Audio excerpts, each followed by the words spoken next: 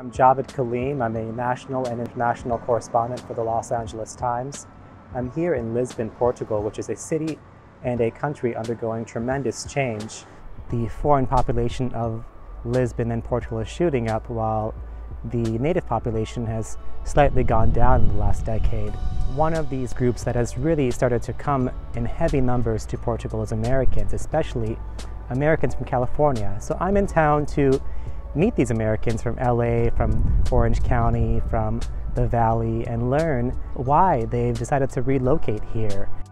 It's flying. I moved here from Sebastopol, California, which is in Sonoma County. We were looking for a better life for our son. We wanted to kind of set him him up in a different way where he wouldn't have any school debt, where he would have access to free health care. And we wanted a place that was similar in temperature and weather to California because we love the weather there. We always knew that Portugal was a really great location in so many different ways. There was a lot of expats moving here, and it was actually the easiest place to get a second passport and citizenships.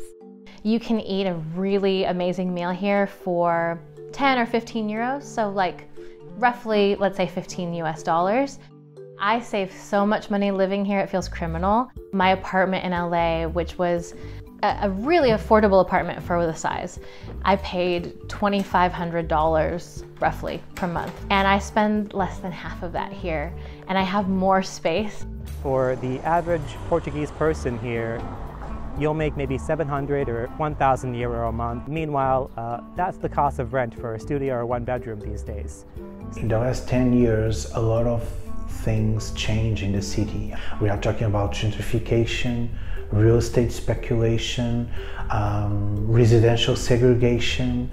The value of the houses just doubled. The value of the rents multiplied by six or seven times. It does feel a little bit like California in the way that there's not enough homes for, for the demand there, there can be some tensions for sure with, for example, Airbnb and its impact on how accessible, affordable places are for locals. But I would say day to day experience, I feel so welcomed. People are starting to catch on that this is a great place to live. I found a community and curated a community before I even arrived here by joining a bunch of the expat groups on Facebook. I created a group called Californians Moving to and Living in Portugal as a support resource for Californians who want to move to Portugal. So I thought people could benefit from the wisdom of Californians already here.